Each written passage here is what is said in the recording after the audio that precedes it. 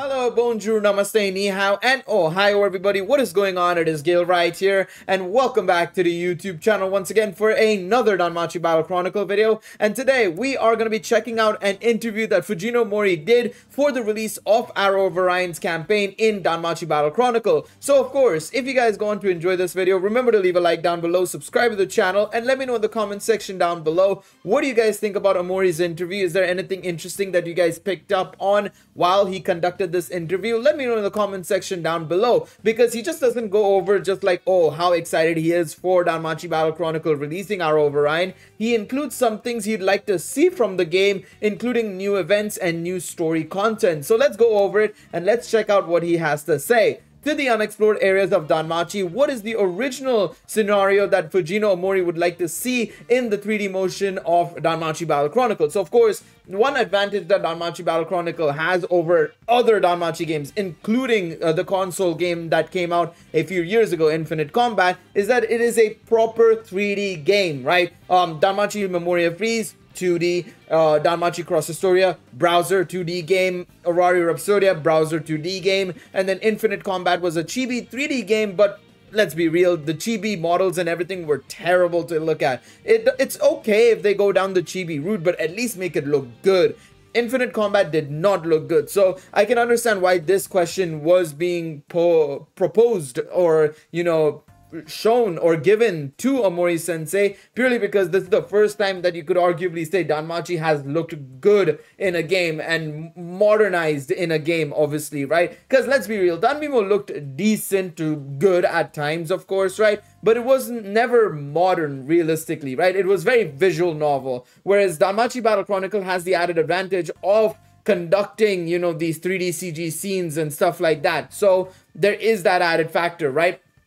Battle action RPG, uh, Danmachi Battle Chronicle is based on the light novel Is It Wrong to Try to Pick Up Girls in a Dungeon, Danmachi by Fujino Omori, which has sold over 15 million copies in total. All right, let's take a look right here. Uh, obviously, Danmachi Battle Chronicle, yada yada yada. Same thing. What was mentioned right here has been mentioned again. This is the latest game in the Danmachi series and is an uh, action RPG that allows you to relive the activities of Bell and other adventures with anime-like 3D graphics. And you can enjoy exhilarating actions uh, or action with a variety of attack methods and commands such as the special moves shown in the work. In addition to the main story, there are plenty of competitive content and training functions. So, of course, this is all in Japanese. I have used Google Translate to roughly translate everything in one shot for me to basically read through it in detail very quickly. So keep in mind that there will be some discrepancies here and there, but for the most part, we can understand what Omori and of course the questions are trying to, you know, propose and trying to say, of course, right?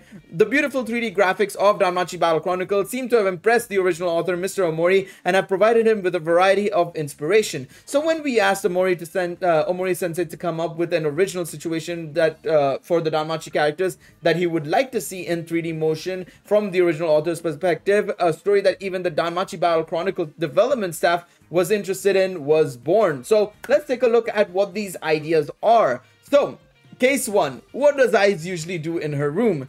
Third, are there any stories or situations that can be drawn using the 3D motion of Danmachi Battle Chronicle? If you mean Omori scenario, the 3D uh, motion is enviable. It's great that you don't have to explain the situation using text and you can move things around in a variety of ways. If I could move it like this, I would start thinking this is how I would use it. The home screen of Danmachi Battle Chronicle right now is also 3D. Right now, I can enjoy the motions of Hestia relaxing in a room, daydreaming about Bell, and sleeping. But I'm curious about how the characters spend their time outside of the story. Aiz takes great care of her sword. Fighting is a big part of her mind, so she shouldn't just leave it to the blacksmith. In volume 9 of uh, Sword Oratoria, the guidance Sword Oratoria, um, I wrote a scene where Aiz is being taught how to maintain a sword by Gareth, so I think she'll continue doing that forever. Not only does she eat Jagamaru Kun, but she also has the personality of an adventurer who never fails to prepare obviously the the red text is basically Omori Sensei, uh, basically uh, him saying it, of course. So let's take a look. Uh, she's a well-known adventurer, so he, she's pretty sure about that. Loki Familia are first-class adventures, but all of them have faced pain at least once, so no member should skimp on such preparations. I think everyone has their own way of adjusting, and by not being careless or arrogant, I think they can become what is called a first-class adventurer. By the way, I will be leaving a link to this interview down below in the uh, description, so you guys can go and check it out, of course, right? So yeah, um, they uh, show a uh, uh, a video or a clip of basically uh, Aiz taking care of her sword and everything. This is obviously when you set up the home screen right off certain characters, including Aiz. This is what would play basically. Of course, you guys know the drill. I have Freya in my home screen. You already know what we're doing over there. Um, but yeah, as you can see, Aiz is polishing her sword. She's mentioning, uh, you know, uh, what she should do with the sword. Like she says, maybe I should polish it a little bit more.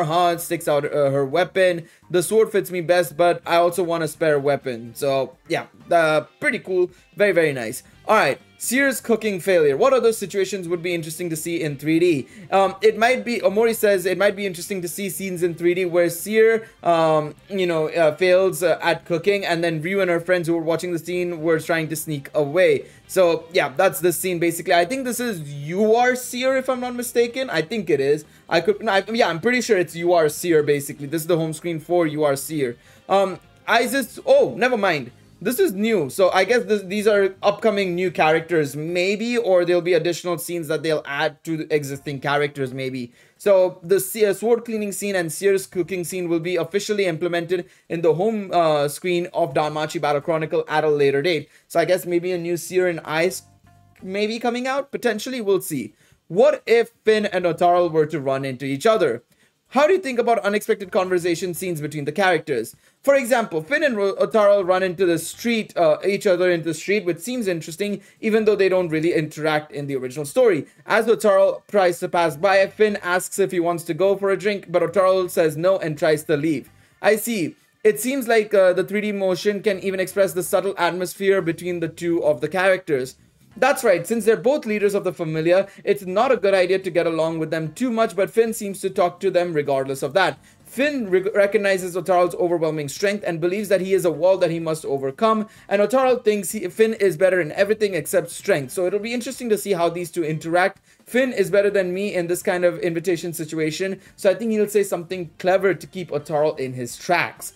Riveria investigating Lily or Ryu. Are there any other combinations that aren't depicted in the main story? Omori says, I haven't had many conversations with the main, main characters, but I think it would be interesting to have them talk, just like the combination of Riveria and Lily. Riveria knows that Finn is interested in Lily, so I think she cares about what kind of girl she is. Or it might be interesting to bump into Ryu. Uh, Riveria seems to have realized that Ryu is a survivor of the Astrea Familia. So, very interesting concept here. Um, development uh, staff says, hmm, I see. The person in charge of development is definitely trying to implement it, right? And then they go on to say that this these two scenes will be implemented in Danmachi Battle Chronicle at a later date. So I would not be surprised. I mean, we kind of had the encounter scene in a way already with, of course, um, the uh, uh, all-comers championship decider match, the sumo fight, right? Finn and Ottarl had their uh, bit of an interaction, of course, and everything, right? But the Riveria where Lily or Ryu is investigated hasn't happened yet. So again, potentially us getting well, well i think what is our fourth or fifth riveria at this point and of course a brand new lily will come out at some point as well so there is something interesting there of course that you know we've basically got confirmations about potential upcoming events that we could be getting so maybe a new Finn Ottarl maybe a new Riveria Lily obviously with the Ottarl may come a new Freya as well so a lot of things to mention there of course right would you like to have a gal game event with Danmachi Battle Chronicle? Omori says, I would like to hold an, uh, a gal game event. It's like a youth romantic comedy where the player, uh, where the player, with the player as the main character, Aiz, Lefiya, Hestia, Syr, and Hermes as a supporting character as an April Fool's Day project. I mean, we kind of we sort of had that whole male idols thing in Danmemo last year, of course, right? So I guess you could make an argument and say that technically it was somewhat done, but of course this will be a proper like dating simulator basically for Danmachi Battle Chronicle. Is this an April Fool's joke for next year? So this upcoming year? I assume they must have done this interview before, of course, the release of, uh, or before the new year started, right? Um, I've never written a scenario for a gal game, but even if Bell is the main character and the game is over due to the difficulty level, Finn can easily beat it. But if Finn appears, will it be game over? The pattern, that pattern is interesting, lol. I really hope it comes true. Development staff said, eh, that's a bold strategy, Cotton, and let's see how it works out. Omori's like, this is just my own imagination, please ignore it. And then, yeah, they've said basically it's not been decided, but let's be real you could easily do like a dating simulator kind of like event with uh, Bell as the main character 100% 100%. Is there a sequel to the movie version of that story? So, of course, this is the Arrow of Orion. 3D motion of Danmachi Battle Chronicle. I think the inspiration that comes from this will make the world of Danmachi more appealing. This is something I haven't written anywhere yet, but I'm thinking of a short story that is a sequel to Danmachi Battle Chronicle. We talked about the Orion's Arrow epilogue below. So, I would like to implement it in Danmachi Battle Chronicle. This is a story that cannot be covered part, part of it as part of an interview article. So yes, that is something that we did find out as well, is that we will be getting an original epilogue to Danmachi Battle Chronicle and Arrow of Orion, of course. Well, I should say we will be getting an original epilogue for Arrow of Orion in Danmachi Battle Chronicle, which I think is fantastic. Again, it's such a nice touch. We did have something in Danmemo, if I recall correctly, like a mini epilogue as well. But uh, of course, if it's completely different and it's set up in a 3D scenario and everything, we'll have to wait and see, man. I cannot wait to see what it is. It's probably going to be something like Danmemo's, where it's set 10,000 years later, Bell and Artemis meet again and everything, all that jazz. But yeah, it's going to be something like that, I feel. It's 100% uh, going to be something like that. And then they, of course, go on to talk about the fact that from Jan 20, uh, 17th, 2024, Arrow of Orion will be implemented in Danmachi Battle Chronicle, along with the original epilogue. There will be a pickup gacha for Artemis as an adventurer obviously we've talked about this in the previous video. This article doesn't mention that it is paid only which maybe you know they might know something we don't where they know that there is a free gacha coming out for artemis. Well we'll have to wait and see. But of course along with that they go on to talk about the fact that we can obtain this hestia for free as well. Um, the original epilo epilogue they've mentioned as well. We know the date for when that is going to be implemented. That is going to be in the final five days of the event. So the campaign goes from the 17th of January to the 19th of February, and the epilogue is going to be implemented on the 14th of Feb. I do believe that it'll be a permanent thing, by the way. It'll be added into the main story because, of course, the Arrow of Orion story arc is added is being added to the main story. It's not an event, it's a main story. So I would not be surprised if we get something uh, or the epilogue added there, basically. So keep that in mind. But yes, this interview was kind of nice. I think we got some good information about like what future events may look like or what units we might get for future events. And overall, it also seems like, you know, Omori Sensei is definitely, I mean, of course, as the author and as the head of the franchise, he has to be somewhat interested in Danmachi Battle Chronicle. I feel like he's not as interested in the game as he was Danmemo, and there's a variety of reasons for that. I think first and foremost, he's too busy writing, of course, the new game story, the console game story. He's also focusing on the actual light novels and everything, taking a bit of a breather from, of course, writing 13 light novels in a row, right? But also, second of all, he's just not as attuned with the developers of this game yet like he was with Danmemo's developers. Of course, we know his connection with the OG Danmemo developers big time, right? They he used to be a big fan of them and they would be a big fan of his and they would work really well in tandem. It doesn't seem like it's the same here, of course, right? Um, so that is something to bear in mind, of course, I feel, right, in that regards. Uh, but yeah, either way, you know, there is another article here, so let me have a look and see. Maybe we'll have something different here, potentially. I want to see, when was this? Was this something I'd already read, or maybe I missed out on this article? No, I did not. No, I've, I've read this article. I'm pretty sure I've read this article before. Yeah, yeah, yeah, I've read this article before. I've read this article before. Either way, you know, it is uh, it is quite interesting in that regards. It does feel like he's a, a little bit not as interested as uh, you know he might have been in Danmemo, but I can understand why in that regards because again, you know, your connection with the development team is completely different. You spend six years with one development team, shifting to a new one, especially if you're an introvert or anything of that sort it becomes even trickier. And then of course on top of that like i said he's busy with all these other projects the new game coming up uh, both the console game and the gacha game and then of course all the light novel stuff the anime and all that jazz it's tricky. It's a very tricky affair. Danmemo came out at a time where you could argue that the Danmachi series was a little bit of a lull, you know? We just had Sword release, which was a bit of a failure. The anime was in a standstill because season 2 didn't release until 2019. And just generally as well, like the light novels were also progressing very slowly at the time. So it was a completely different era back then versus now. So that's also something to keep in mind. But anyways,